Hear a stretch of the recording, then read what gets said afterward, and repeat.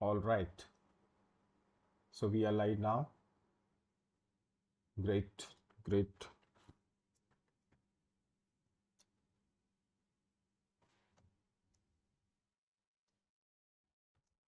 I will just take one more minute.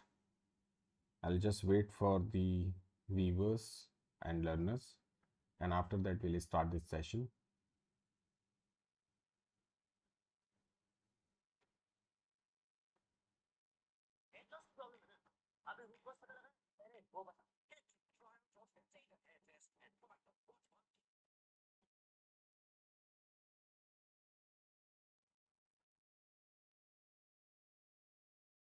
Good evening, Pranay Kumar.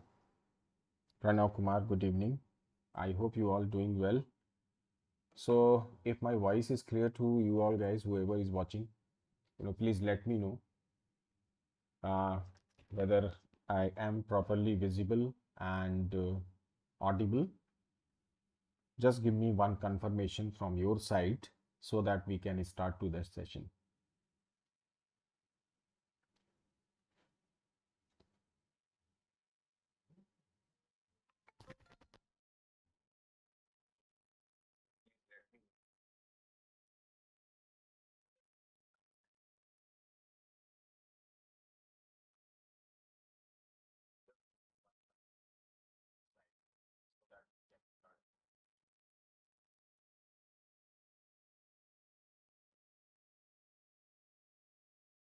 Okay, so yeah, I mean, we are going to start computer network. This is one short video actually it is going on. And as we all know that we are actually right now going through class 12 IP crash course. So I am continuing with this class 12 IP course and this is the another one short video of this uh, uh, IP class 12 and today like I said इसके पहले हमने already Python pandas को complete कर लिया है। Database query using SQL को भी कर लिया है।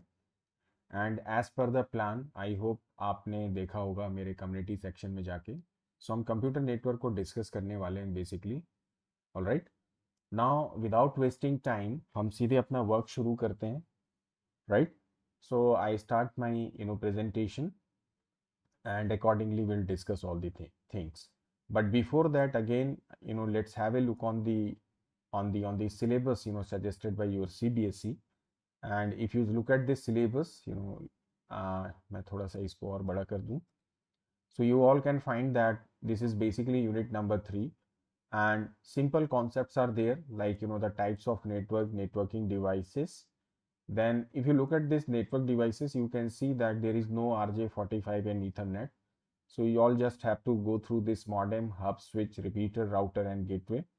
Then topology, if you look, then you have this starburst tree and mesh topology, no ring and others. And similarly, you know, after that, the main part of your uh, computer network, especially this, as far as your IP is concerned, is basically your internet, right? तो आपका जो computer network है उसमें ज़्यादा जो तवज्जो दी गई है बात पे वो एक्चुअली नेटवर्क के कंपैरिजन में इंटरनेट को दी गई है। जहाँ पे you have to discuss about the internet then U R L W W then its application like we all know W W W is an application then email chat VoIP then website then website के differences क्या हैं static dynamic pages then web browsers then add ons and all that so hello to everyone, those who ever joining. I'm talking about computer network today. So let's talk about now each and every concept one by one. So I start from scratch. Just give me a minute.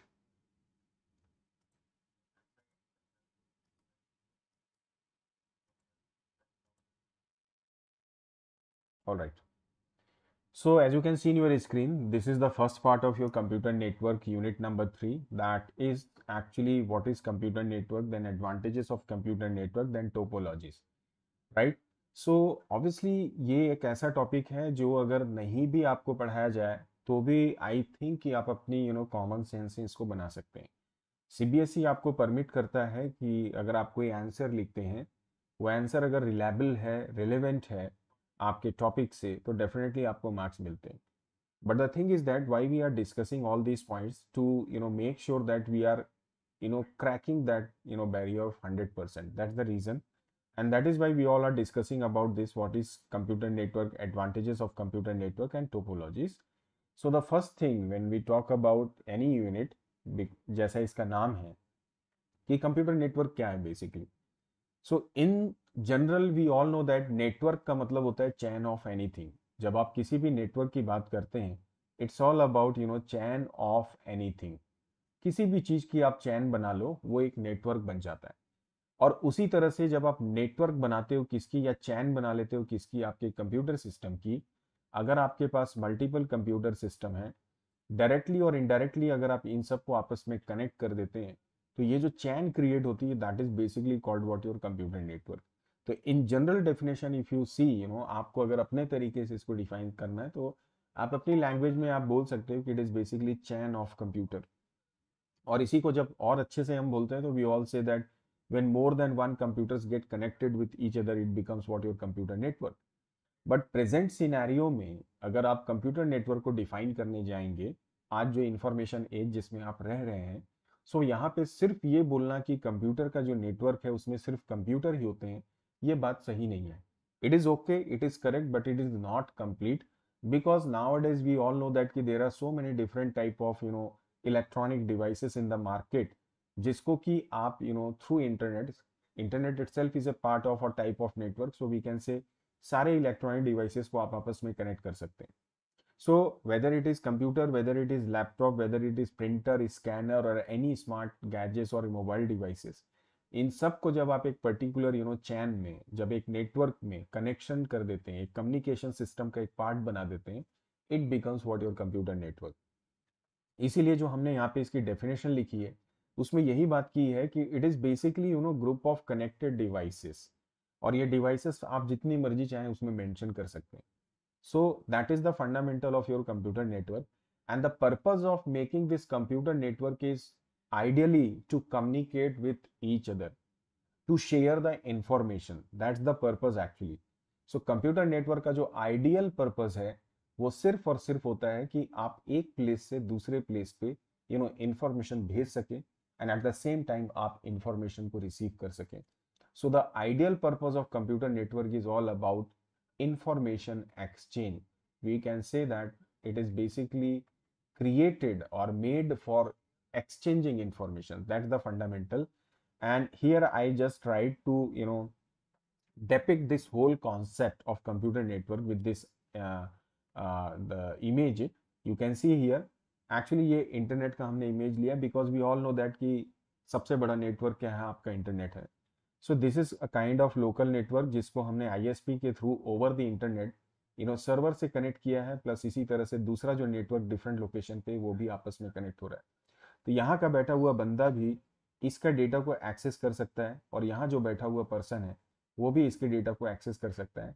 And we look at this image you can see that there is router connected there is mobile connected photocopiers are connected so all different kind of things you know all can connect so that is the fundamental now the next question is why this computer network is so much you know important या what is the what are the advantages of computer network so having set that the purpose of you know, the computer network is ideally is what your information sharing, you sharing you can see here.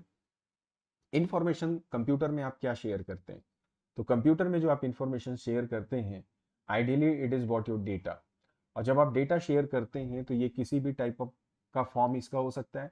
वो एक document हो सकती है, वो एक sheet हो सकती है, वो एक रिपोर्ट हो सकती है। तो किसी भी तरह से जब आप डेटा शेयर करते हैं over the computer network So that is called your information sharing. The second advantage of you know your computer network is basically what your hardware resources. You know hardware resources in the sense आप देखें अगर इस diagram को तो आप देखेंगे यहाँ पे ये जितने भी कंप्यूटर्स हैं ये आपस में with the help of switch और हब कनेक्टेड हैं यहाँ पर लैपटॉप भी आपका कनेक्टेड है आप यहाँ पे नोटिस करेंगे हमने एक प्रिंटर को और यहाँ पे एक फोटोकॉपी मशीन को भी क्या किया हुआ है कनेक्ट किया हुआ है इट मीन्स दैट कि ये जो तीनों आपके यहाँ पर कंप्यूटर सिस्टम है, इस कंप्यूटर नेटवर्क का जो पार्ट है, वो यहाँ से इस तीनों इस प्रिंटर को क्या कर सकते हैं, यहाँ से एक्सेस कर सकते हैं। सो इट मीन्स दैट आपने कंप्यूटर नेटवर्क में अपने प्रिंटर को क्या कर दिया शेयर कर दिया। इट मीन्स दैट आपने हार्डवेयर रिसोर्स को क्या कर दिया शेयर कर दिया। The same is with this photocopier machine as well इसको भी यहाँ से चारों कंप्यूटर या जितने भी कंप्यूटर्स आपके कंप्यूटर नेटवर्क में कनेक्टेड हैं, वो सब इसको एक्सेस कर सकते हैं। एक बात मैं आपको यहाँ पे बताना चाहूँगा कि जब आप कंप्यूटर नेटवर्क क्रिएट करते हैं तो यहाँ पर एक टर्म हम इस्तेमाल करते हैं जिसको हम बोलते हैं नोड। तो यहाँ पर ये जितने भी, यू नो, सिस्टम आपस में कनेक्टेड हैं, चाहे वो मोबाइल हो, चाहे ये लैपटॉप हो या computer, all these are called what node तो इसे हम नोड बोलते हैं। सेकेंड एक टर्म होता है जिसको हम जानते हैं क्लाइंट के नाम से client who makes request remember always that is simply we can say client who make request and the next is what your server who gives services all right so ये बात को आप ध्यान रखेंगे।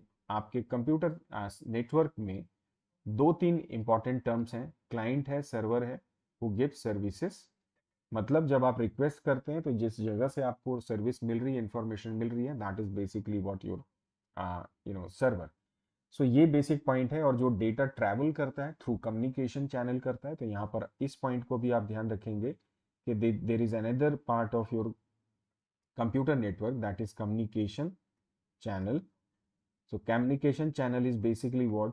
Medium through which your data travels from client to server or vice versa. So I was talking about you know the advantages of computer network so मैंने आपसे बात की कि इंफॉर्मेशन शेयर करना हार्डवेयर रिसोर्सेज को शेयर करना software के resources जो होते हैं, आप उनको भी शेयर कर सकते हैं। लाइक इन द सेंस आपके कंप्यूटर में एक सॉफ्टवेयर डला है। इस सॉफ्टवेयर को एट ए टाइम एक से ज़्यादा पर्सन क्या कर सकते हैं, प्रयोग कर सकते हैं अपने एंड पे बैठ के। So that is basically software resource अगर मैं यहाँ पर एग्ज़ाम्पल लूँ स्टेट बैंक ऑफ़ इंडिया का तो इंडिया के किसी भी कोने में कहीं पे भी स्टेट बैंक का अगर ऑफ़िस है, अगर बैंक है तो वहाँ पर एसबीआई की एप्लीकेशन यूज़ कर रहा है और जो व्यक्ति उसे यूज़ कर रहा है मतलब वो एसबीआई के उस application in the sense software resource को यूज़ कर रहा है। So that we can say software resource का इस्तेमाल करना so that is another, you know advantage of computer network and similarly uh, another advantage you can count is what? Increase storage capacity. तो जब आपके एक कंप्यूटर की capacity one TB है और अगर आपके कंप्यूटर में नेटवर्क में 10 यू नो कंप्यूटर्स आपस में कनेक्ट हो जाएँ एक एक टीबी के तो ऑटोमेटिकली उनका जो साइज़ है वो 10 टीबी हो जाएगा। तो इसको हम बोल सकते हैं स्टोरेज कैपेसिटी हालाँकि आज के टाइम में कंप्यूटर नेटवर्क में स्टोरेज कोई मायने नहीं रखता। क्योंकि हमारे पास इतने तरीके आ चुके हैं डेटा स्टोर करने के कि हमें यू नो एक एक नोड के individual you know storage space को कैलकुलेट करने की ज़रूरत नहीं है। बट अगेन क्योंकि ये एडवांटेज की बात हो रही तो हम बिल्कुल इसे लिख सकते हैं। और right then the next we are going to discuss is basically what are the other advantages? You can see here cost efficient तो आप अपने नेटवर्क में चार या दस कंप्यूटर के पीछे एक प्रिंटर अगर लगा रहे हैं मतलब आप नौ प्रिंटर का रेट को सेव कर ले रहे हैं। So that is obviously cost efficient then collective user information आपको जैसे मैंने बोला कि आपका यहाँ पर एक मेन सर्वर है, इससे डिफरेंट लोकेशंस पे लोग बैठ के वर्क कर रहे हैं। तो इन सब की कलेक्टिव इंफॉर्मेशन एक साथ एक जगह पे आप गैदर कर सकते हैं। आपका वर्क को आप डिस्ट्रीब्यूट कर सकते हैं। इसको इसको हम बोलते हैं मल्टी यूज़र इन्वायरमेंट राइट जहाँ पर एक समय पे एक से ज़्यादा लोग बैठ के एक ही रिसोर्स पे, एक ही सोर्स पे वर्क करते हैं और उनका फाइनल रिज़ल्ट भी आपको एक साथ उसी सोर्स पे क्या हो जाता है? अवेलेबल हो जाता है। So that is another you know major advantage आज अगर आपके साथ हम कनेक्टेड हैं it's all because of this computer network so what is what is happening here is basically what एक मल्टी यूज़र इन्वायरमेंट बना हुआ है, जहाँ पे मैं इंफॉर्मेशन शेयर कर रहा हूँ। हालाँकि ये हाफ़ डुप्लेक्स मोड है, या डुप्लेक्स मोड नहीं हम बोलेंगे क्योंकि हम सैमल्टेनियसली कम्युनिकेट नहीं कर पा रहे हैं। Through chats we can of course do but again it you can understand this multi user environment and similarly when you talk about this improved communication and information availability it means twenty four cross seven you can use internet you can get any kind of और any sort of information whenever required so all these are you know different you know advantages of you know your computer network so ye to baat hui you know advantages ki let's move ahead and now we are going to discuss about the next part is basically what network topology network topology is all about कि जब हम किसी भी organisation पे अगर computer network establish करना चाहते हैं तो उसका एक पर्टिकुलर स्ट्रक्चर या लेआउट आप डिज़ाइन करते हो तो वो जो लेआउट है दैट बेसिकली डिपेंड्स कि आपका जो ऑर्गेनाइज का ऑर्गेनाइजेशन है वो कितना अमाउंट स्पेंड कर रहा है। कंप्यूटर नेटवर्क बनाना और किस तरीके से आप बनाना जा रहे हैं। अगर आप मार्केट में कोई एक पर्टिकुलर फ्रूट लेने जाते हैं तो उस फ्रूट की डिफरेंट वेराइटीज हो सकती हैं। आपकी डिपेंड करता है कि आप कौन सी वेराइटी को परचेस करना चाहते हैं। The same is case with the network topology. So network topology का मतलब ये है as per your requirement as per your expense का जो आपका क्या बोलना चाहिए, उसका एज पर योर बजट आप किस तरह की टोपोलॉजी क्रिएट करना चाहते हैं। So topology is all about you know the layout you know layout का मतलब indirectly in general point of में भाषा में हम ये बोल सकते हैं कि लेआउट ऑफ़ नेटवर्क या structure of network right that is basically your topology structure of network. Now there are different net you know topologies you can see here this is basically your bus topology this is your ring topology which is not in your course that is your star topology similarly you have this uh, uh, mesh topology all right so there are different topologies हमको ये समझना है so so अब ये जो topologies होती हैं इनके सिर्फ़ एक बात को आप ध्यान रखो कॉस्ट कितनी आप बियर कर रहे हो आपको किस तरह की नेटवर्क की स्पीड चाहिए कितना आपके नेटवर्क में यू नो इफिशियंसी है, ये सारा आपकी टोपोलॉजी के ऊपर डिपेंड करता है। एक एक करके हम इन सारी टोपोलॉजीज को देखते हैं। यहाँ पर ये लिस्ट आपको साथ मैंने शेयर कर दी। एज पर योर सिलेबस सबसे पहले हम बात करेंगे स्टार टोपोलॉजी की।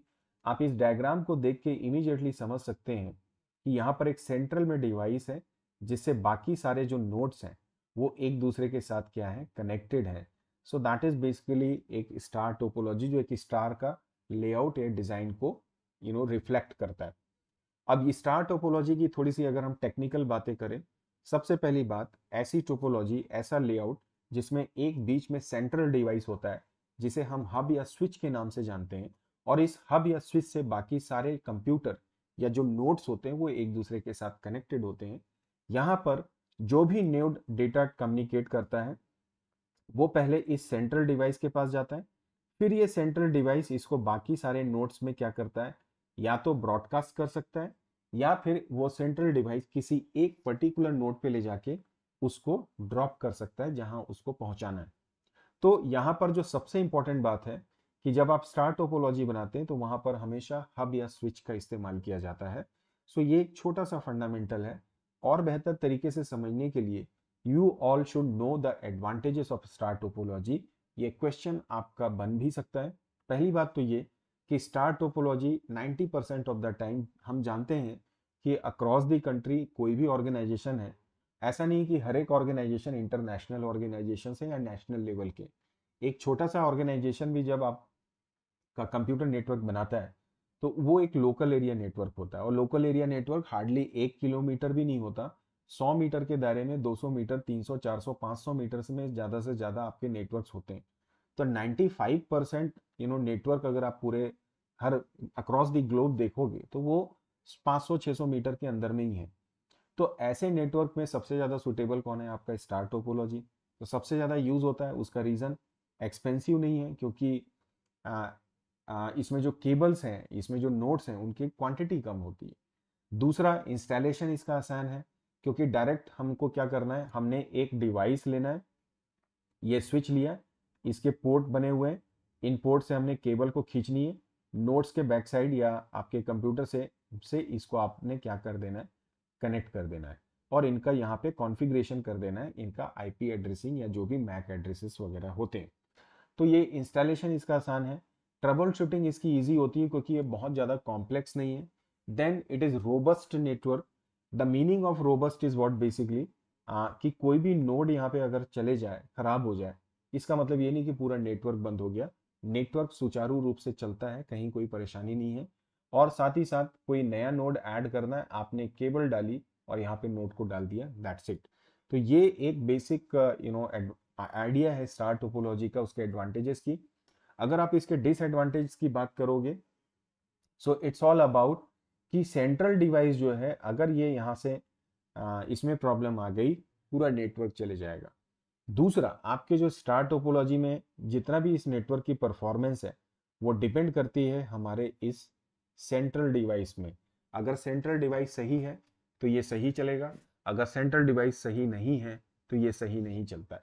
And the third is what as compare to bus topology इसमें थोड़ी सी केबल ज़्यादा लगती है।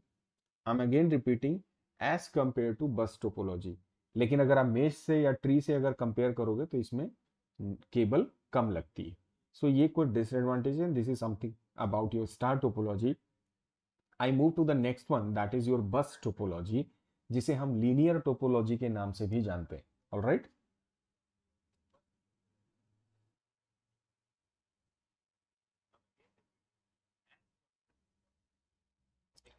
uh, you need not to go through data handling part 2 right? Mr fazon you just have to go through pandas part 1 and i would suggest कि एन की book को आप फॉलो करिए राइट क्योंकि अगर आप देखोगे पाई प्लॉट का अलग से चैप्टर है सुमिता अरोरा का। और उसमें बहुत सारी चीज़ें ऐसी हैं जो आपको नहीं करनी है। गॉट इट डेटा विजुअलाइजेशन के लिए you should learn chapter number four of your NCERT book आप सिर्फ़ उसको पढ़िए। सुमिता अरोरा के भी पाइप प्लॉट के चैप्टर को आप पढ़ सकते हैं। That will not make any sense क्योंकि आई एम टेलिंग यू अगर आप मार्क्स डिस्ट्रीब्यूशन देखोगे तो 14 से 15 नंबर डेटा फ्रेम के क्वेश्चंस होंगे। तकरीबन पाँच छः नंबर सात नंबर सीरीज़ का होगा और एक चार या पाँच नंबर का हार्डली आपका पाइप प्लॉट का आएगा। या तो वो सिंगल पाँच नंबर का होगा, या वो दो तीन नंबर में डिस्ट्रीब्यूट हो सकता है। सो डेटा विजुलाइजेशन यदि आपको करना है, मैं परसों हो सकता है उसकी क्लास भी लूँगा मैट प्लॉट लिप की। आप मेरे कम्युनिटी पोस्ट को जाके चेक कर सकते हैं। तो ये कुछ बातें हैं तो आप ध्यान रखें इस बात की, ठीक है? Now the next I was talking about bus topology we all know that कि बस टोपोलॉजी का मतलब है, जहाँ पर सेंट्रल डिवाइस नहीं होता, लेकिन एक केबल होती है, जिसको हम क्या बोलते हैं? सेंट्रल केबल बोलते हैं, और इसे हम बैकबोन भी बोलते हैं। क्या बोलते हैं? बैकबोन बोलते हैं। किसकी बैकबोन बोलते हैं? हमारे बस टोपोलॉजी की। You can see in this diagram इसमें क्या होते हैं? एक यू नो सीरीज़ में जो होते हैं, सारे नोड्स क्या होते हैं? एक दूसरे के साथ कनेक्टेड होते हैं।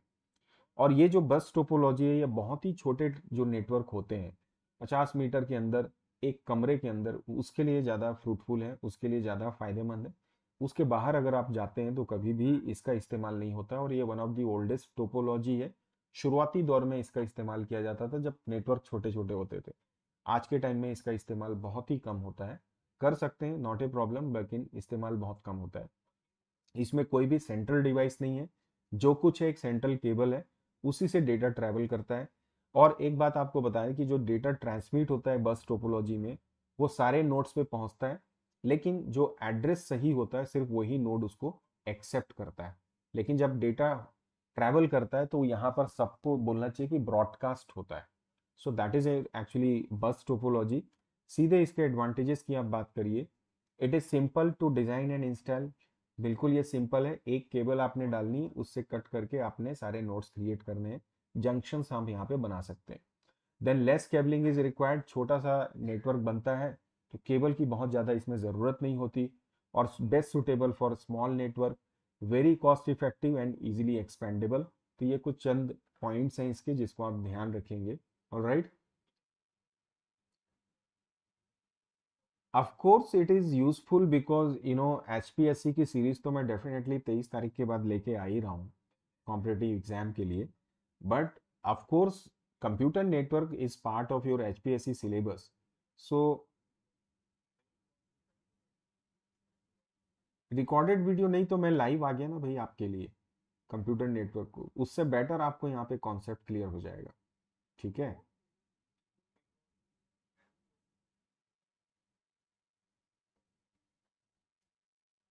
अपलोड नहीं हुई, लेकिन अपलोड अभी मैं वही तो बात आपसे कर रहा हूँ। और वैसे मैं आपको बताऊँ कि अगर आप मेरे चैनल पे जाके देखोगे कंप्यूटर नेटवर्क की तो दो वीडियोस फुल शॉट की डली हुई हैं। आप आईपी क्लास 23 को चेक कर लेना, आप उसमें मिल जाएगा।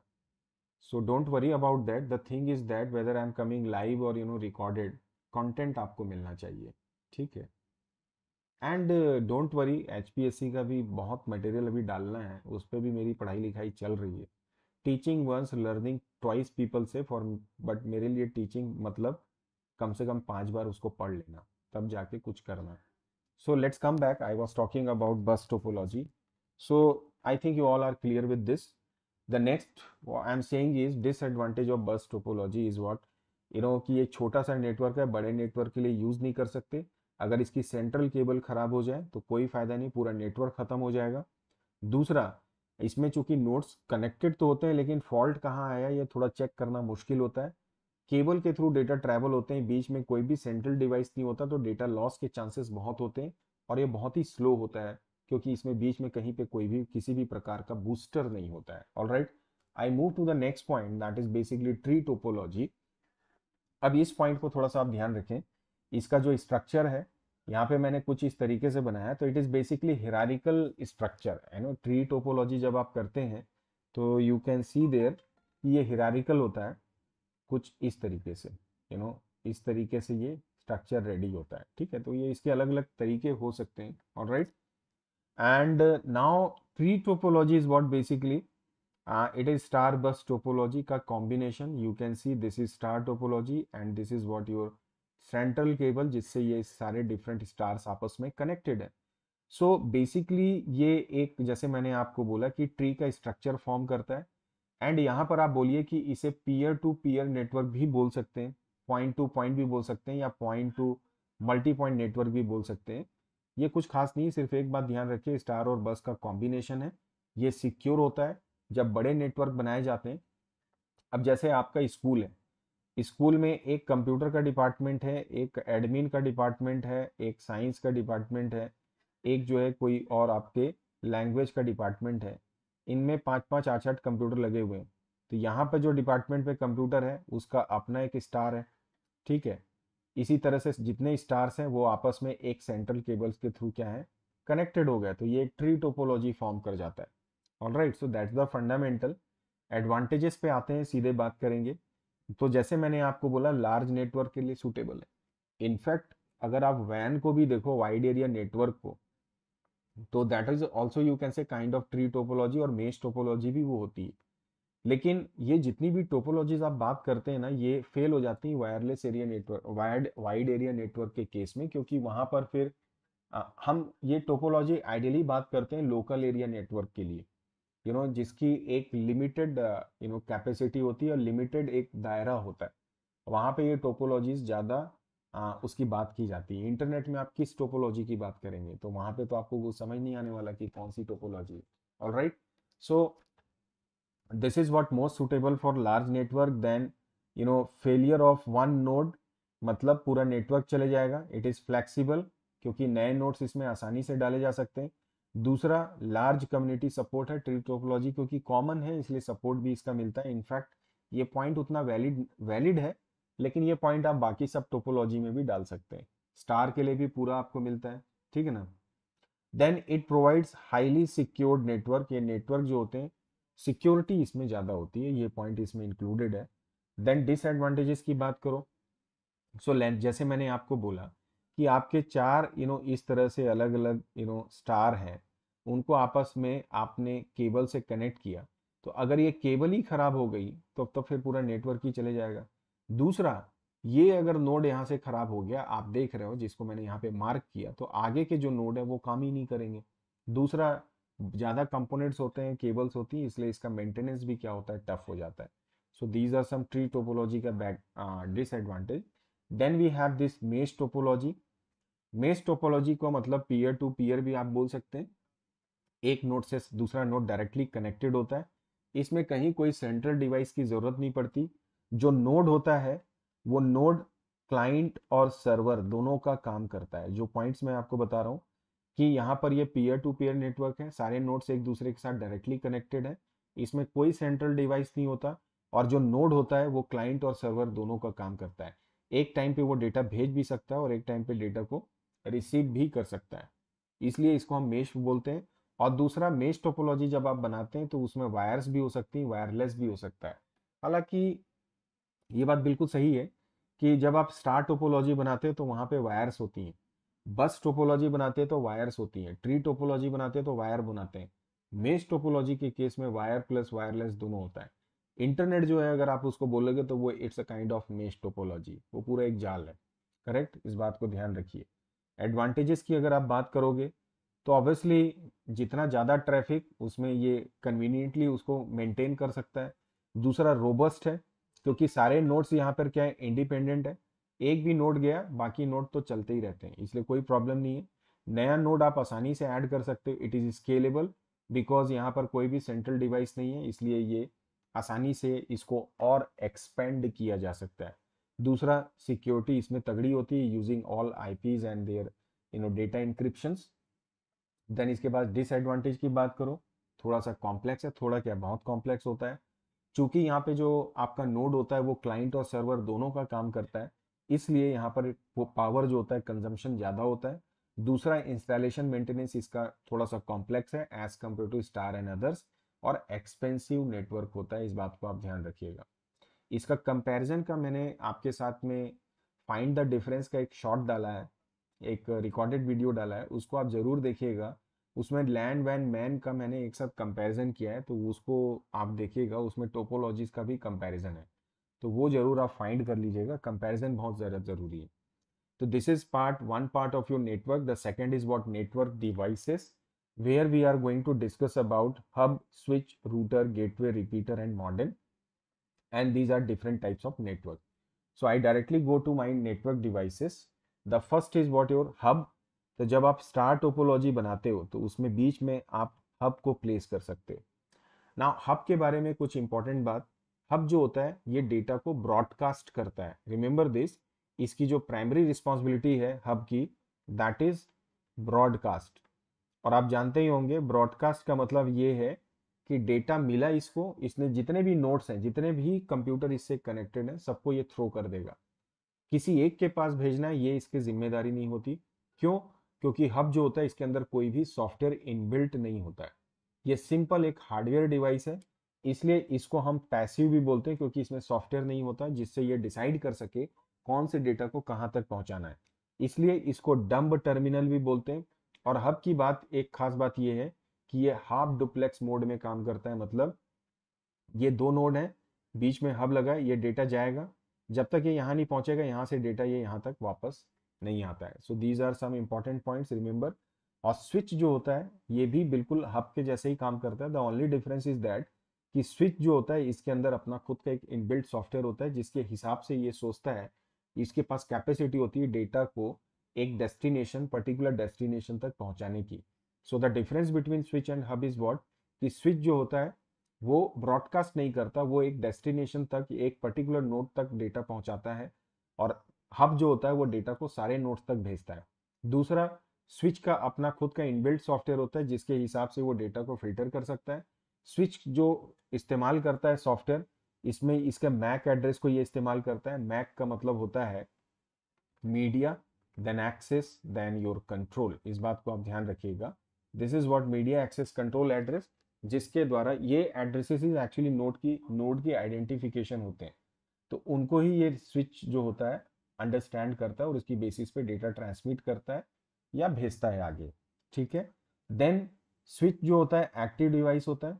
इसमें जो डेटा ट्रांसफ़र होता है वो डुप्लेक्स मोड में होता है मतलब दोनों तरफ़ स्विच में डेटा एक साथ आना जाना कर सकते हैं। Note to sorry client to server और सर्वर टू क्लाइंट सो ये कुछ इंपॉर्टेंट पॉइंट्स हैं आपके स्विच के। Then we have this router which is very important देखिए रूटर के बारे में एक बात मैं आपको बता दूँ। रूटर जैसा इसका नाम है बेस्ट रूट को फाइंड करना। तो डेटा जब ट्रैवल करता है यू you नो know, जब आपका ये यहाँ पर मैंने नोड बनाया यहाँ से डेटा ट्रांसमिट हुआ। तो ये जो इसमें रूटर लगा होता है, ये एक्चुअली इस डेस्टिनेशन तक पहुँचने के लिए डिफरेंट जो मीडियम्स हैं, ठीक है, ये ऐसे मैं डेपिक्ट करने की कोशिश कर रहा हूँ। उसमें ये फाइंड करता है कि जो डेटा है, उसका बेस्ट रूट कौन सा है। अब बेस्ट रूट का मतलब जिसमें डेटा का ट्रैफ़िक कम है शॉर्ट पड़े, ये उस रूट को खोजता है और उससे अपने डेस्टिनेशन तक उस डेटा को भेज देता है। इसलिए इसका नाम है रूटर तो रूटर का जो आइडियल पर्पज है that is to find the best route to deliver the data right and the second purpose of your router is what कि ये डिफरेंट जो यू नो नेटवर्क्स होते हैं, जैसे ये मान लीजिए अलग अलग नेटवर्क हैं, इनको आपस में कनेक्ट करता है। तो किस तरह के नेटवर्क को? जो डिफरेंट होते हैं। लेकिन different network with same protocols याद रखिएगा different network with same protocols को ये क्या करता है? को क्या करता है ये? रूटर कनेक्ट करता है। दैट्स द पर्पज सो अगर सिर्फ़ ये लिखा है कि डिफरेंट नेटवर्क को कनेक्ट करना दैट मीन्स रूटर भी आएगा गेटवे भी होता है। और different network with same protocol इसका मतलब वहाँ पे सिर्फ़ और सिर्फ़ रूटर आएगा। सो so, मैंने आपको बाकी बातें तो बता दी कि ये रूट को एनालाइज करता है रिसीव करता है। और ये पैकेट जो ट्रेवल कर रहे हैं, ये बेस्ट पाथ से जा रहे हैं, ये इंश्योर करता है। ये बेस्ट सुटेबल होता है किसके लिए? वाइड एरिया नेटवर्क के लिए। अगर कोई लिंक फेल हो जाए तो ये दूसरे रूट को पकड़ लेता है। मतलब इसमें डेटा का रुकने का कोई चांस ही नहीं है। और ये चित्र को देख के आप समझ सकते हैं। और एक बार और आपको बता दूँ कि आजकल जो हम लोग मॉडर्न यूज़ करते हैं अपने कंप्यूटर से डेटा कनेक्ट करने के लिए, उसको भी हम रूटर बोलते हैं। तो घर पे जो रूटर लगाते हैं, वो एक्चुअली क्या है? वो एक्चुअली मॉडर्न ही है लेकिन इंटरनेट से डेटा आ रहा है तो वो भी बेस्ट रूट वहाँ पे देख लेता है। सो so, रूटर में मॉडर्न भी होता है इनबिल्ट होता है इस बात को ध्यान रखिएगा नावडेज वायरलेस रूटर भी होते हैं वायर्ड रूटर भी होते हैं इस बात को भी ध्यान रखिए।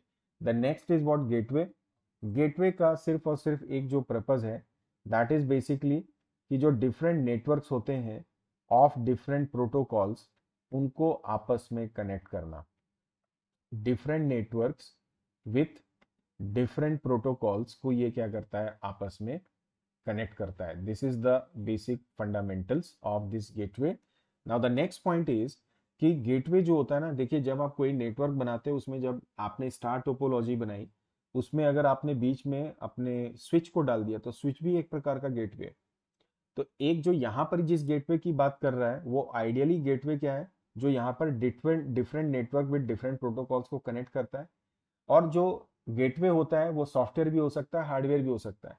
तो नेटवर्किंग डिवाइस जितने होते हैं, एक स्विच भी गेटवे हो सकता है, हब भी गेटवे हो सकता है, रूटर भी गेटवे हो सकता है। और आप जब फायरवॉल लगाते हैं अपने नेटवर्क में डेटा के ट्रैफ़िक को कंट्रोल करने के लिए तो वो फायरवॉल भी एक गेटवे का कार्य करता है। तो आप कंफ्यूज मत होइए। लेकिन यहाँ पर जिस गेटवे की बात की जा रही है, वो बेसिकली हम बोलते हैं स्पेशली सिर्फ़ और सिर्फ़ वो डेडिकेटेड गेटवे की हम बात कर रहे हैं। तो डेडिकेटेड गेटवे का मतलब जो यहाँ पर ये मैंने पॉइंट बताया। दूसरा, ये सॉफ्टवेयर, हार्डवेयर कुछ भी हो सकता है, दोनों का कॉम्बिनेशन हो सकता है। ये प्रॉक्सी सर्वर भी हो सकता है, फायरवॉल का भी काम कर सकता है। गेटवे जो है रूटर भी हो सकता है, clear? But ideally connects different network with different protocols को जो फॉलो करता है। Now the next point we are going to discuss is your repeater. Repeater is nothing, it's all about, you know, आपका जो डेटा लॉस होता है, उसको regenerate करना। रिपीटर का मतलब जो जब आप लॉन्ग डिस्टेंस में डेटा ट्रैवल होता है मोर देन हंड्रेड मीटर तो डेटा के लॉस होने के चांसेस हो जाते हैं। उस सिग्नल की स्ट्रेंथ को वापस से बढ़ाने का काम कौन करता है? आपका रिपीटर करता है। तो रिपीटर क्या करता है? स्ट्रेंथ को बूस्ट करता है एक सिग्नल को। दूसरा, ये लॉन्ग डिस्टेंस नेटवर्क में काम किया जाता है। दूसरा, एक और इंपॉर्टेंट बात कि ये सिमिलर नेटवर्क में होता है। ऐसा नहीं कि डिफरेंट नेटवर्क्स में रिपीटर लगाए जाएँगे। भाई डेटा एक नोट से दूसरे नोट पे एक सेम नेटवर्क में ट्रेवल करता है, उसमें ही आपका रिपीटर कनेक्ट किया जाता है। दूसरा, ये सस्ते होते हैं, इसमें कुछ खास बात नहीं होती। और चौथी बात, ये सिग्नल को रीजनरेट करता है, इस बात को ध्यान रखिएगा। मतलब सिग्नल की स्ट्रेंथ बढ़ाने के लिए वापस से उसको रीजनरेट करता है। So these are some points about repeater then we have this local area network then हमारा wide area network and metropolitan area network तो इसका मैं एक कंपैरिजन फाइंड करने की कोशिश करता हूँ, या आप इसके लिए, मैं इसमें बहुत ज़्यादा टाइम आपका वेस्ट नहीं करवाऊँगा। मैं सीधे लैन की कैरेक्टरिस्टिक्स में आता हूँ। देखिए लैन का मतलब लोकल एरिया नेटवर्क वैन का मतलब वाइड एरिया नेटवर्क मैन का मतलब मेट्रोपॉलिटन एरिया नेटवर्क है ना? लोकल एरिया नेटवर्क एक से पाँच किलोमीटर या एक से दस किलोमीटर तक के लिए मेट्रोपॉलिटन एरिया नेटवर्क दस से पचास किलोमीटर के लिए, और पचास किलोमीटर से ज़्यादा का जब होता है तो वहाँ पर वाइड एरिया नेटवर्क आ जाता है। लोकल एरिया नेटवर्क एक सिंगल कैंपस में ज़्यादा सुटेबल है। एक रूफ में या एक ही कैंपस के अंदर डिफरेंट बिल्डिंग्स को कनेक्ट करने के लिए। मेट्रोपॉलिटन एरिया नेटवर्क मतलब एक ही सिटी में डिफरेंट लोकेशंस को कनेक्ट करना। Wide area network different cities different states different countries के लिए होता है। लोकल एरिया नेटवर्क का एग्ज़ाम्पल आप आप उसमें किसी भी एक ऑर्गेनाइजेशन को ले सकते हैं। वाइड एरिया नेटवर्क का मतलब जैसे कि आ, या मेट्रोपॉलिटन एरिया नेटवर्क जैसे म्यूनिसिपल कॉरपोरेशन आपकी सिटी का हुआ पुलिस स्टेशन आपकी सिटीज़ के हुए ये आपके मेट्रोपॉलिटन में आ जाते हैं। वाइड एरिया नेटवर्क की अगर आप बात करें तो इंटरनेट है नेशनल बैंक्स होते हैं इंटरनेशनल बैंक्स होते हैं नेशनल जो रेलवे का जो नेटवर्क है that is again wide area network then इसी तरह से लोकल एरिया नेटवर्क जो होता है वो ज़्यादातर प्राइवेट होता है metropolitan area network 50 percent private भी हो सकता है, पब्लिक भी हो सकता है। लेकिन जो वाइड एरिया नेटवर्क होता है, मोस्टली वो पब्लिक होता है, ना कि प्राइवेट। तो ये कुछ पॉइंट्स आपको मैंने इन शॉर्ट बता दिए। देन लैंड जो होता है, ये मैंने आपको यहाँ पे ये सारे पॉइंट्स, वही बात यहाँ पे जो अभी आपको मैंने बताई, एक्सप्लेन की है। ये इसकी डिस्टेंस है, owned by single person. Data transfer speed बहुत ज़्यादा होती है, इंस्टॉलेशन मेंटेनेंस ईजी है। और मोस्टली ये क्या होता है आपका प्राइवेट होता है। Then the next is metropolitan area network आप इसमें देखिए पाँच से पचास किलोमीटर लेंथ है। ग्रुप ऑफ़ पीपल के द्वारा मैनेज किया जाता है। हाई स्पीड नेटवर्क होता है, लेकिन less than local area network ज़्यादातर ये पब्लिक भी होता है और ये प्राइवेट भी हो सकता है। तीसरा म्यूनिसिपल कॉरपोरेशन पुलिस स्टेशन इसके एग्जाम्पल्स हैं। Then we have wide area network so आप जानते ही हैं इंटरनेट वाइड एरिया नेटवर्क मतलब आपको समझ में आ गया। Long distance national, multinational organisation के द्वारा मैनेज किया जाता है।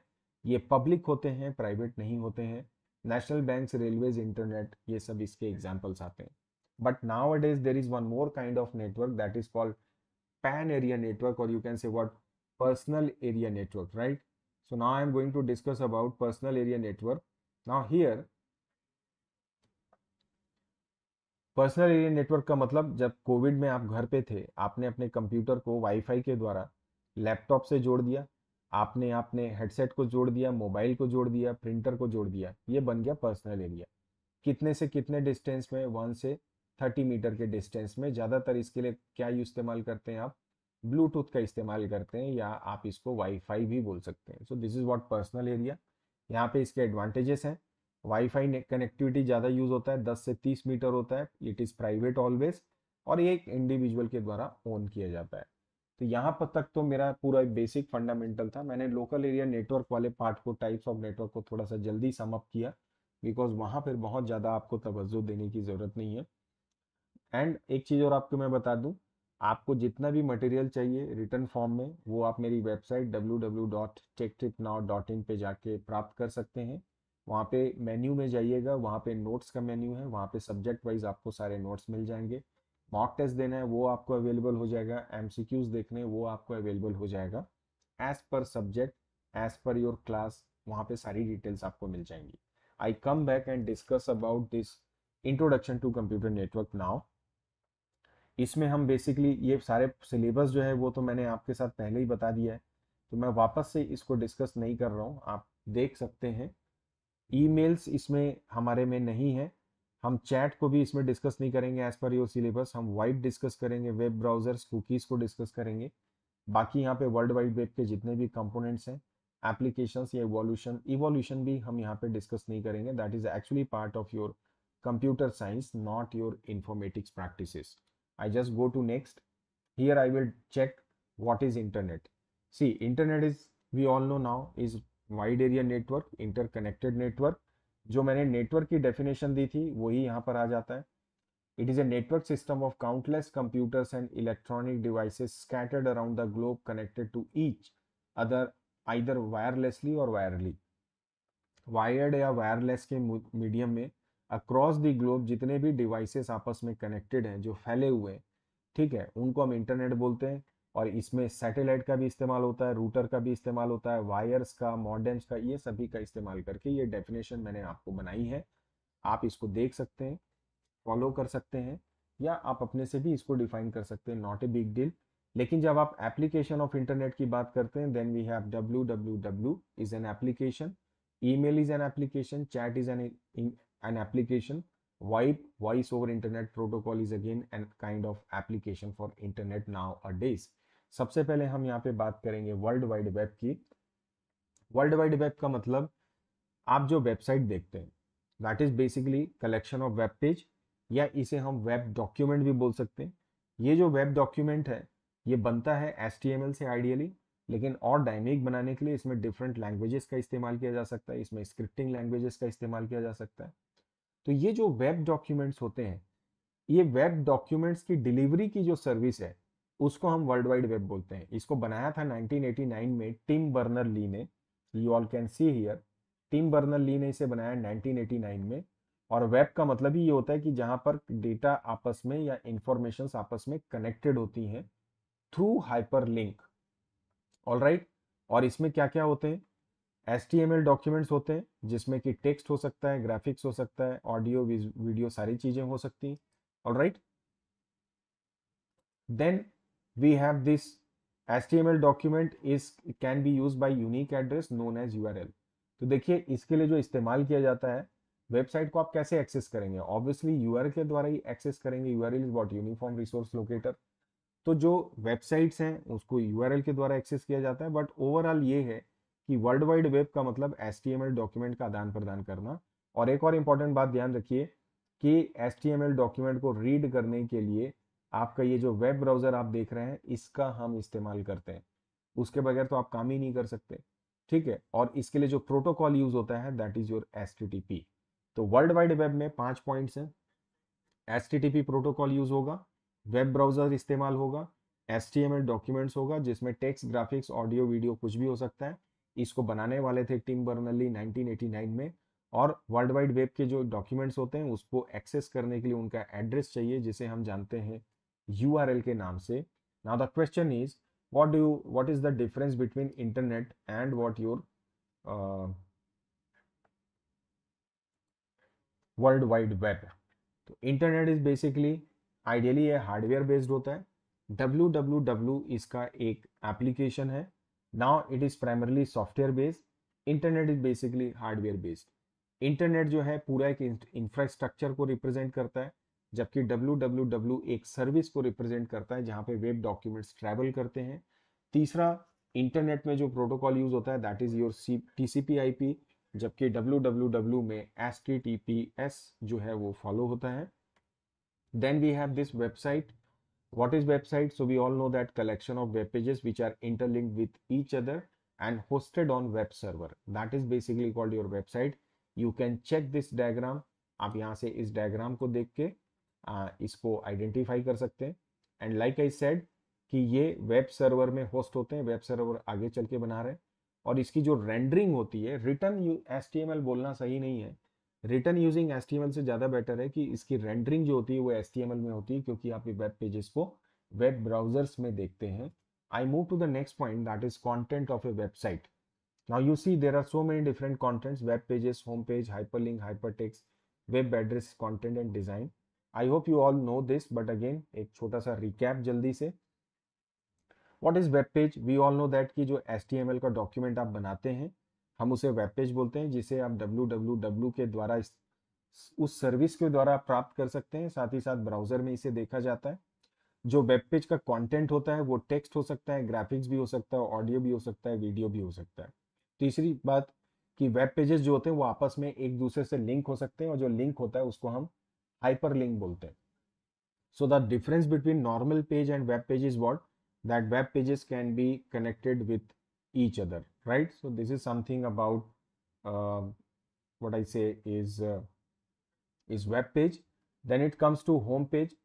Home page एक बेसिक वेब पेज होता है। जब आप कोई वेबसाइट बनाते हैं तो उस वेबसाइट का जो फ्रंट पेज होता है that is basically called your home page और इस होम पेज को हम लैंडिंग पेज भी बोलते हैं। होम पेज एकदम सटीक होना चाहिए, अट्रैक्टिव होना चाहिए, बहुत ही प्रिसाइज होना चाहिए सो दैट यूज़र आए और उसको जो भी चाहिए, उसकी जानकारी उसको होम पेज से मिले और वो आपकी वेबसाइट पे टिके। तो आपकी वेबसाइट का जो इस्तेमाल होना है, उस पर ट्रैफ़िक का आना वो डिपेंड करता है आपके होम पेज पे। So the first page which appears when you open any website is basically called home page and home page के बाद में आती है बात टाइप्स ऑफ़ वेब पेजेस की। Static page and dynamic page static page जिसका content fix होता है छः महीने में या very you know rarely it is changed लेकिन डायनेमिक पेज जिसका कंटेंट हमेशा चेंज होता है। All right right? हर दिन चेंज हो सकता है और इसमें जो डेटा होता है, वो बेसिकली बैकेंड से आता है डेटाबेस से। तो स्टैटिक और डायनेमिक वेब पेज में जो बेसिक डिफरेंस है static is fix dynamic is dynamic in the nature उसका कंटेंट चेंज होता है। स्टैटिक पेज बनाने के लिए एस का इस्तेमाल सफिशियंट है। डायनेमिक वेब पेज बनाने के लिए H T M L C S S bootstrap then P H P language, scripting language सबका इस्तेमाल किया जाता है। और साथ ही साथ इसमें डेटा बेस माई एस का भी प्रयोग किया जाता है या किसी भी डी बी एम एस का इस्तेमाल किया जाता है। अमेजोन की जो वेबसाइट है, वो एक एग्ज़ाम्पल है डायनेमिक वेब पेज का। स्टैटिक वेब पेज के लिए किसी भी आप अपने आसपास की लोकल वेबसाइट का नाम भी इसमें डाल सकते हैं। और राइट सीबीएसई की वेबसाइट क्या है? तो ऑब्वियसली वो एक डायनेमिक वेबसाइट है, हर दिन उसका कंटेंट चेंज हो रहा है। नाउ द थिंग इज़ इन दोनों के बीच के डिफरेंस को आप ध्यान रखिए which is again very important static page fix होता है, ये मैंने आपको अभी बता ही दिया। ये अपडेटेड फ्रिक्वेंटली है। देन स्टैटिक वेब पेज की अपलोडिंग का टाइम जो है you can say static web page का अपलोडिंग टाइम कम होता है, क्योंकि उसमें कंटेंट ही स्टैटिक है फिक्स है सिंपल टेक्स्ट और इमेज डायनिक पेज में चूँकि डेटा जो है, वो आता है आपके वेब ब्राउज़र में डेटाबेस से कनेक्टिविटी होती है आपके पेज की तो उसके रेंडरिंग में थोड़ा सा टाइम लगता है। So these are the differences between your static and dynamic page let's talk about your U R L what is url address of website. So you can see this diagram.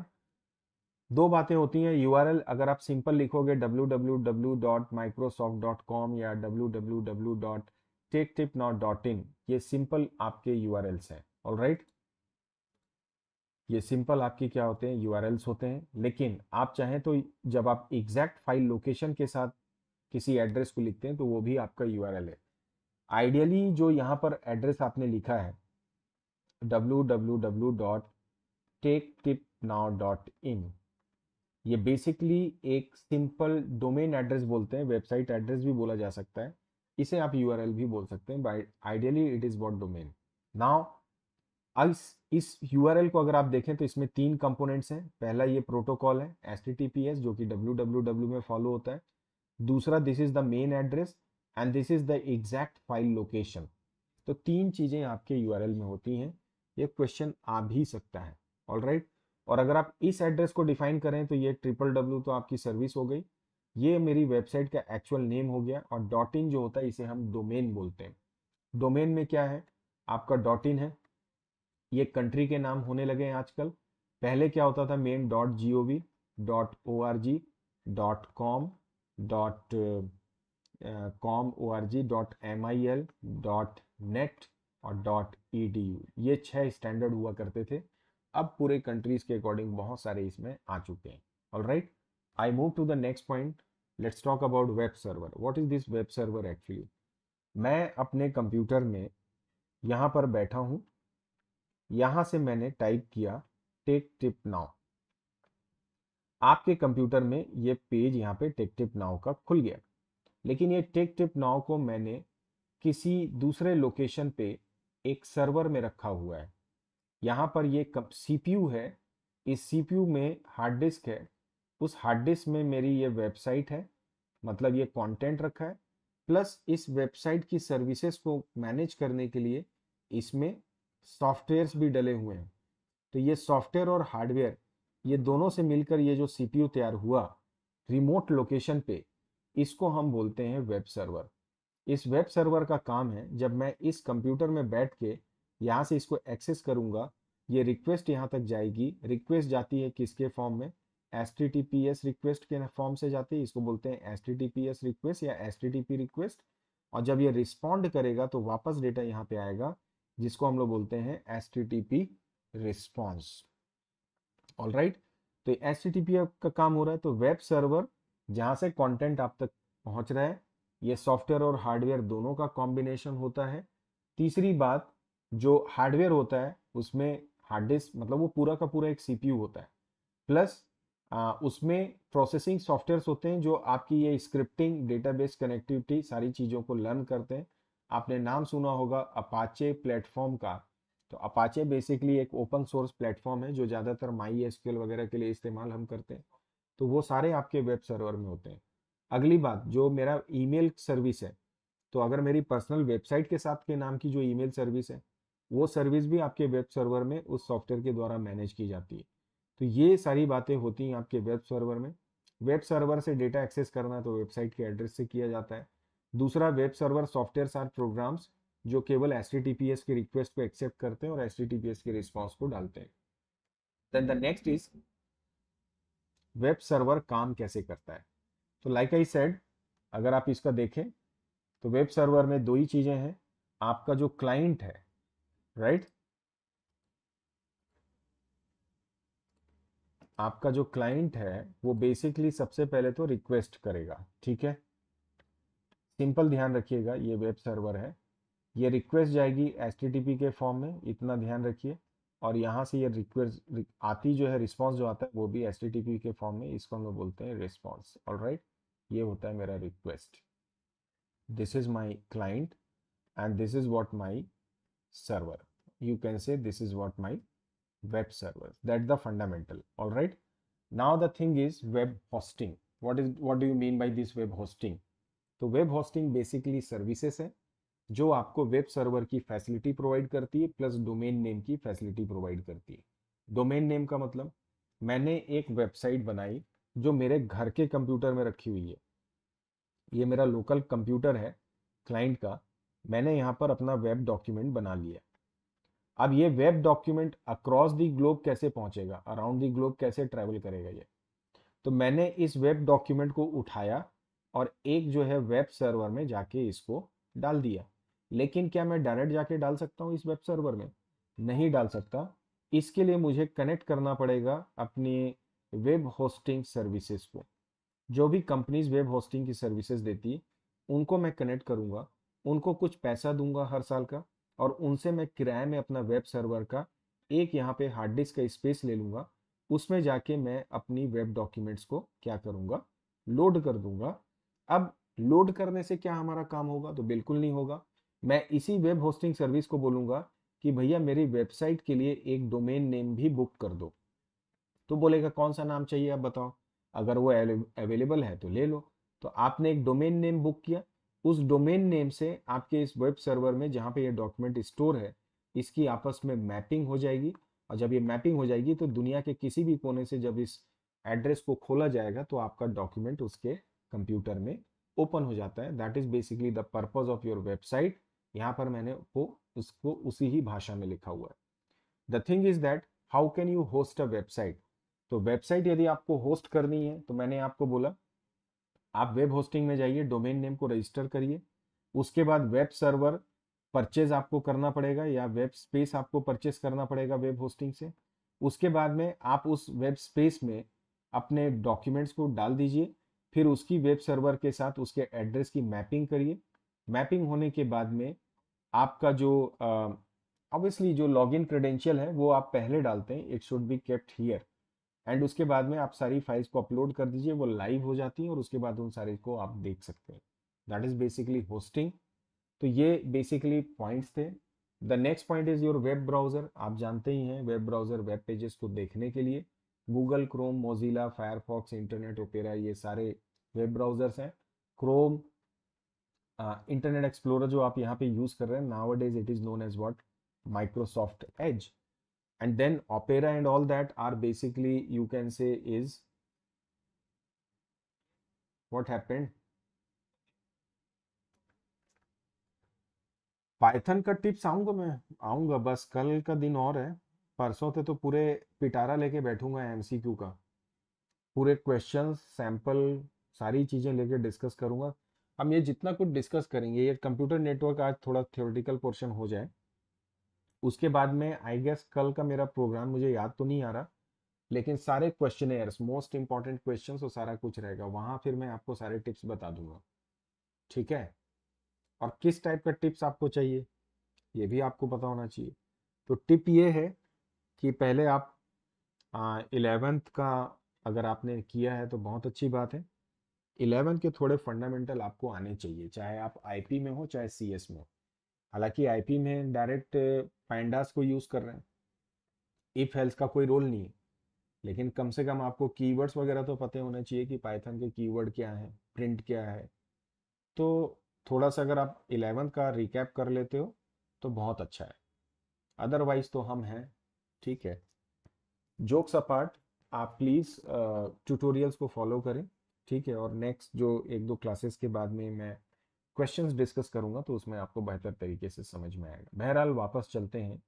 हम बात कर रहे थे web browser की तो ये सारे web browsers हैं। The main important part of your your your web browser is what computer networking add ons and plugins आप जब गूगल क्रोम यूज़ करते हैं तो उसमें बहुत सारे एक्सटेंशंस होते हैं। ये जो एक्सटेंशंस होते हैं, इसको हम लोग क्या बोलते हैं? एडॉन्स बोलते हैं। और कई दफ़ा, हालाँकि आज के ज़माने में एडॉन्स का ज़्यादा प्रचलन है प्लगइन्स का बहुत कम इस्तेमाल होता है। एडॉन्स एंड प्लगइन्स दोनों ही किसी भी ब्राउज़र की कैपेसिटी को बढ़ाने के लिए, उसकी फंक्शनैलिटी को बढ़ाने के लिए यूज़ किया जाता है। सो इट इज़ यहाँ यहाँ पे ये लिखा हुआ है, आप पढ़ सकते हो, मैंने उसको वर्बली आपको हिंदी में एक्सप्लेन कर दिया।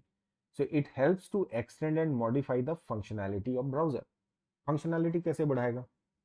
जैसे कि मैं जब वेब ब्राउज़र यूज़ करता हूँ तो मुझे जब ऑनलाइन जब मैं क्लासेस करता था तो उसमें मुझे अगर किसी बच्चे का पीडीएफ को चेक करना है तो मेरे पास उसमें रिसोर्स नहीं थे तो मैंने एक कैमी नाम का एक्सटेंशन कैमी के ए एम आई के नाम से एक पीडीएफ एडिटिंग का एक्सटेंशन गूगल क्रोम के साथ रहता है, वो डाल दिया।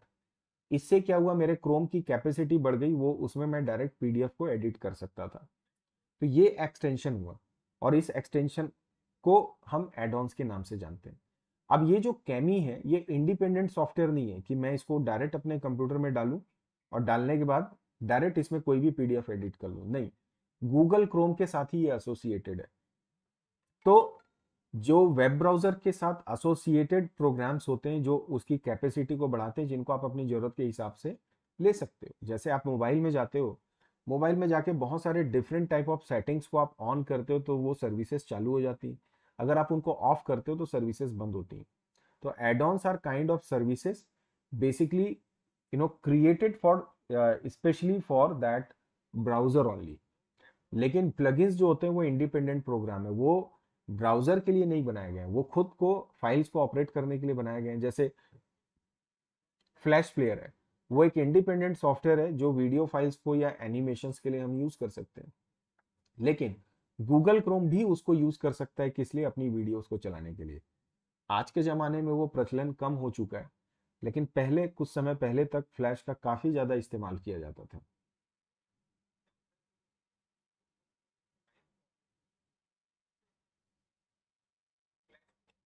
ये आपने जो लैंग्वेज लिखी है मुझे समझ में नहीं आया। पैथन आपके क्या समाजवादी क्या है कि समझ समझ में नहीं आता क्या है? ठीक है। ये समझ में नहीं आई आपने क्या लिखा है। Extremely sorry for this right दो मिनट और उसके बाद उसके बारे में हम डिस्कस करते हैं। सो so, ये एडॉन्स एंड प्लगलिन्स है। आप दोबारा करवा लेंगे डोंट वरी ठीक है? Okay now the next point is what differences between these two याद रखिए addons are complete programs they are not plugins addons are not a complete plugins are complete program they are third party software नहीं, ये third party नहीं होते हैं plugins third party होती हैं add on जो होते हैं वो ब्राउज़र के साथ एसोसिएटेड होते हैं plugins are independent and add on जो होते हैं वो ब्राउज़र के साथ ही काम करते हैं, जबकि प्लगइन्स को कहीं पे भी आप काम कर सकते हो these are the differences email is not included so I am skipping that part अगर आपको ज़रूरत होगी तो आप मुझे इनकीप कर बता सकते हैं। The main thing is what voice over internet protocol. WhatsApp जब आप यूज़ कर रहे हैं, गूगल मीट जब आप यूज़ करते हैं तो यहाँ पर ज़्यादातर जब टेलीफोनिक कन्वर्सेशंस होते हैं तो जो प्रोटोकॉल इस्तेमाल होता है, that is voice over internet protocol. Jio जो आप जानते हैं, दुनिया में जिसने तहलका दुनिया में नहीं, इंडिया में जिसने तहलका मचाया obviously voice over internet protocol का इस्तेमाल करता है। फ़ायदा इसका ये है कि बहुत ही बढ़िया ऑडियो वीडियो कम्युनिकेशन के लिए इस्तेमाल करते हैं। Telephonic conversation over the internet is basically the responsibility of voice over internet protocol so I said remember this word telephonic you know communication okay telephonic communication over the internet is basically what your voice over internet protocol और इसके लिए इसका फ़ायदा क्या है? एक सस्ता है फंक्शनैलिटी बहुत बढ़िया है क्लैरिटी बहुत बढ़िया होती है। कुछ इसके डिसएडवांटेज हैं। वो ये कि अगर नेट कम हुआ तो क्वालिटी चली जाएगी। तो जो कुछ है वो नेट के ऊपर डिपेंड करता है। इमरजेंसी जो सर्विसेज़ नंबर्स होती हैं, उनके लिए आप इसका इस्तेमाल नहीं कर सकते, जैसे एक हज़ार आठ, ग्यारह सौ आठ, जो भी लोकल चलती हैं। ठीक है? एडवांटेजेस में सस्ता है, हर जगह इस्तेमाल किया जा सकता है ईजिली अवेलेबल है। ओवरऑल ये सारे पूरे कॉन्सेप्ट थे आज आपके कंप्यूटर नेटवर्क के। एक छोटे सा पॉइंट चैट का भी करते हैं। चैट एक रियल टाइम कम्युनिकेशन है। चैट में जब दो व्यक्ति आपस में कम्युनिकेट करते हैं तो दोनों को लाइव होना चाहिए। और जब चैट का इस्तेमाल किया जाता है तो सेम सॉफ्टवेयर में ही दोनों को होना चाहिए। ईमेल में क्या होता है कि आपने जीमेल यूज़ किया रेडिफ वाले को भेज दिया। चैट में अगर आप स्काइप यूज़ कर रहे हो तो सामने वाले से तभी बात कर पाओगे जब आप स्काइप को इस्तेमाल करोगे। तो ये चैट है। That is basically real time communication as I said video text दोनों हो सकता है ऑडियो भी हो सकता है। Google talk Skype Yahoo messenger WhatsApp Google hangouts all these are you know chat का examples that is another example finally cookies there I don't think it is part of your syllabus this time but again you all should know about this कि जब आप internet में काम करते हैं तो बहुत सारी वेबसाइट स्मॉल टेक्स्ट फ़ाइल आपके कंप्यूटर में डिलीवर कर देती है with your browser so what happened कि वो आपकी जो ब्राउजिंग हिस्ट्री जो आपकी रहती है, उसको ट्रेस करती हैं सो दैट नेक्स्ट टाइम जब आप उसको ओपन करते हैं तो उसी हिस्ट्री के अकॉर्डिंग आपकी प्रीवियस एक्टिविटी के अकॉर्डिंग वो आपको डेटा वापस से भेजती हैं। आजकल कुकीज़ का गलत तरीके से इस्तेमाल किए जाने लगा है। लोग आजकल अपनी वेबसाइट के द्वारा कुकीज़ को आपके सिस्टम तक भेजते हैं ताकि वो आपकी क्रेडेंशियल आपके जो पर्सनल इंफॉर्मेशन हैं आपके सिस्टम तक पहुँचे और आपको सिस्टम को हैक करें या आपकी पर्सनल इंफॉर्मेशन को लें और फिर आपको किसी ना किसी तरह से नुकसान पहुंचाएँ। ये कुकीज़ का पर्पज़ है। कुकीज़ स्मॉल टेक्स्ट फ़ाइल होती हैं जो आपके लोकल ब्राउजिंग में जाकर, लोकल ब्राउज़र में, हिस्ट्री में जाके स्टोर होती हैं। इस बात को ध्यान रखिएगा। ये वेब सर्वर में स्टोर नहीं होती, लेकिन जब दोबारा आप अपनी वेबसाइट, सेम वेबसाइट को ओपन करते हो जिससे कुकी आई है, जैसे अमेजोन है। आपने अमेजोन ओपन किया तब आप क्या करते हो? जैसे कि मैं यहाँ पे इसको ड्राइव बताता हूँ। आपने अमेजोन ओपन किया अपने कंप्यूटर में। अमेजोन क्या करेगा? डाटा भेजेगा। डेटा के साथ एक कुकी भी भेज देगा। ये कुकी जाके आपके हिस्ट्री में क्या हो गई? यहाँ पर स्टोर हो गई। अब ये कुकी क्या करेगी? जो भी डाटा आपने जूता खोला, खोजा तो शू को ये क्या कर देगा? स्टोर कर देगा। नेक्स्ट डे आप फिर आते हो और आप क्या खोलते हो? ओपन करते हो अमेजोन आपकी रिक्वेस्ट गई। अमेजोन आपसे कनेक्ट हुआ। तुरंत ये कुकी एक्टिवेट होगी। यहाँ से चेक करेगा लास्ट हिस्ट्री क्या थी? शू की। वो इन्फॉर्मेशन यहाँ तक आएगी। ये अपने डेटाबेस में शू के अकॉर्डिंग डेटा फ़िल्टर करके थ्रो कर देगा सारे शूज़ को यहाँ पे, उसका इन्फॉर्मेशन को। सो so दैट ये काम होता है कुकीज़ का। इस तरीके से ये आपके ब्राउजिंग एक्सपीरियंस को बढ़ाता है। ठीक है? ये आपके ब्राउजिंग एक्सपीरियंस को एनहांस करता है। That is the ideal purpose of cookies लेकिन आजकल इसका गलत इस्तेमाल होने लगा है। ठीक है? पाइथन की strategies definitely I will share कल या परसों से मेरा जो क्लासेस होगा, उसमें मैं आपको बताऊँगा। मेरा जो छोटा सा चैनल है कंप्यूटर साइंस विद संजय, उसमें आप आ जाओ रात को नौ बजे। ठीक है लाइव क्लास है। उसमें जो है, वहाँ पर मैं पैथन पे ज़्यादा बात कर रहा हूँ। ठीक है, आज तो वहाँ पे डेटाबेस का प्रीवियस ईयर का क्वेश्चन डिस्कशन है। ठीक है? बट हम ज़रूर बात करेंगे इसके बारे में। बहरहाल, ये जितनी भी चीज़ें आज मैंने आपके साथ डिस्कस की ये सब थी आपके कंप्यूटर नेटवर्क से related that is unit number three तो सेशन हमारा यहीं पे एंड करेंगे आज। ये बेसिकली कॉन्सेप्ट बेस्ड सेशन था। क्वेश्चंस प्रैक्टिस के लिए हम दोबारा फिर मिलेंगे शाम साढ़े चार बजे। आप मेरी कम्युनिटी पोस्ट को चेक कर लीजिएगा। मेरी वेबसाइट पे जाइए, वहाँ पर आपको सारा मैसेज मिल जाएगा। पाइथन की स्ट्रैटेजी क्या है? आप ये बताइए कंप्यूटर साइंस के लिए या आईपी के लिए? यदि आप आईपी पढ़ रहे हैं तो सबसे बढ़िया ये है कि पहले तो आप डेटा फ्रेम को पकड़ लीजिए।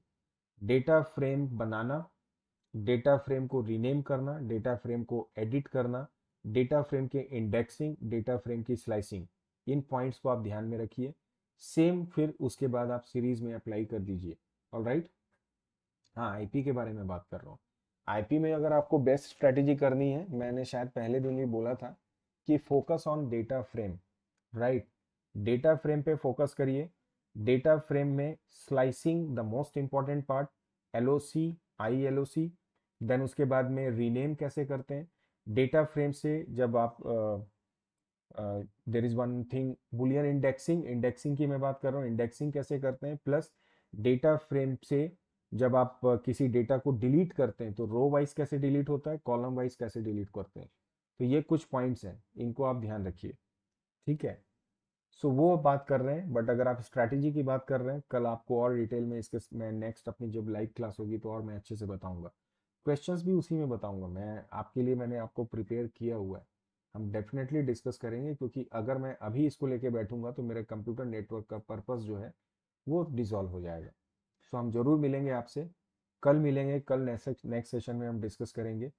आज के सेशन को हम यहीं पे एंड करेंगे। So I would request all of you to please know you all can quit now but before that thank you so much for joining this session and I hope आपको ये session definitely किसी ना किसी तरीके से help करेगा कल मिलेंगे नए सॉल्यूशंस के साथ, नए चैप्टर के साथ में कम्युनिटी पोस्ट में जाके कल का आप वो क्या कहते हैं उसे स्केड्यूल चेक कर लीजिएगा, वहाँ से आपको जानकारी मिल जाएगी तो चलिए फिर सेशन एंड करेंगे Bye bye. Take care. Take care of yourself. Keep practicing.